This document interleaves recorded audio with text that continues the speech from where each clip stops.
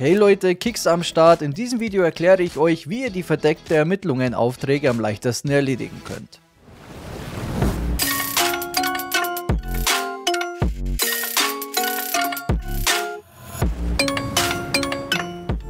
Herzlich willkommen zu einem neuen Video. Heute geht es um die verdeckte Ermittlungen, Aufträge in Fortnite, die jetzt neu rausgekommen sind. Wir haben drei Wochen und sechs Tage aktuell noch dafür Zeit, also absolut keinen Stress. Ich zeige euch jetzt, wie das alles funktioniert. Die erste Aufgabe da oben schließen wir erst ab, wenn wir alle anderen drei erledigen. Und die gehe ich jetzt mit euch durch. Die erste lautet, schließe Aufgaben in verdeckte Ermittlung-Matches ab.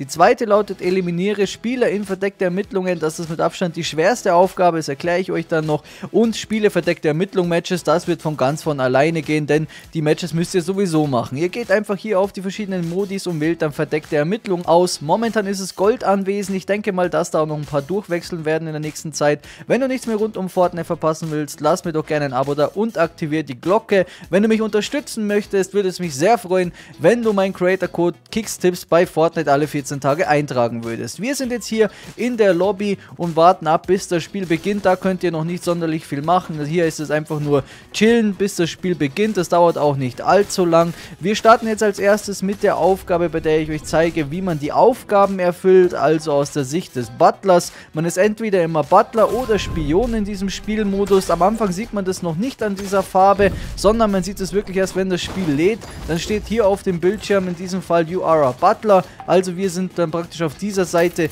die dann die Missionen erledigen kann. Also müssen wir einfach nur hier gehen zu diesen Uhren zum Beispiel und dort das Ganze aktivieren und dann haben wir schon eine Aufgabe erledigt.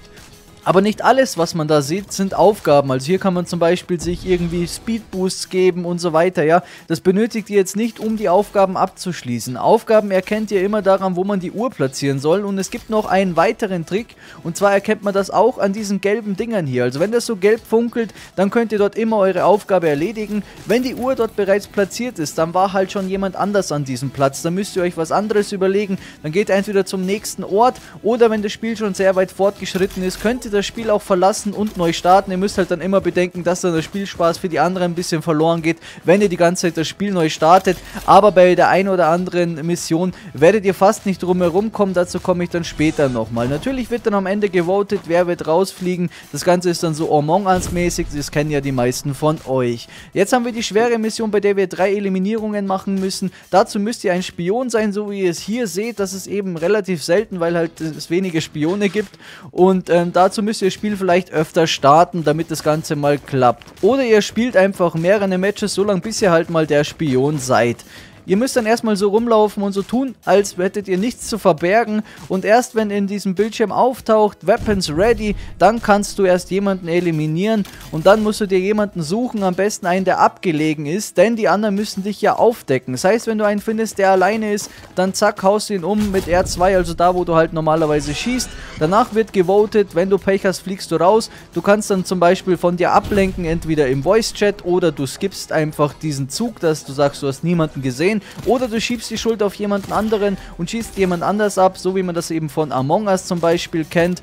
Und ihr müsst halt einfach schauen, dass ihr nicht eliminiert werdet gleich mal am Anfang, denn ihr braucht insgesamt drei Kills. Wenn ihr das schafft, dass ihr in der zweiten Runde seid, könnt ihr natürlich gleich wieder jemanden eliminieren und ihr braucht halt insgesamt drei Kills. Wenn ihr mal nicht wisst, ob ihr Spy oder Butler seid, dann könnt ihr hier hingehen und dann nachschauen. Das Gefährliche ist halt, dass dann dort auch Gegner sind, die das sehen können. Das heißt, ihr müsst schauen, dass dann wirklich keiner in der Nähe steht, aber dann könnt ihr da mal nachschauen, falls ihr das übersehen habt.